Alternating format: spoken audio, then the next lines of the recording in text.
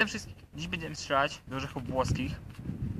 Z wiatrówki 4,5 mm dolny naciąg. Pach.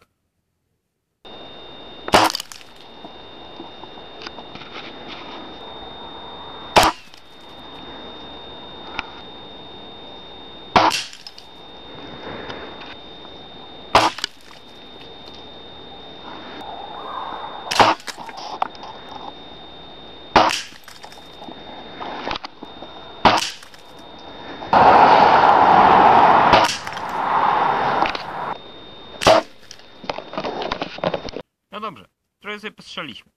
Teraz zapraszam was na mój kanał, aby obejrzeć więcej takich filmików. Lub kliknijcie w te ikony. Tutaj są, tak? Dziękuję za obejrzenie materiału. Subskrybujcie, lajkujcie, komentujcie. Co chcecie.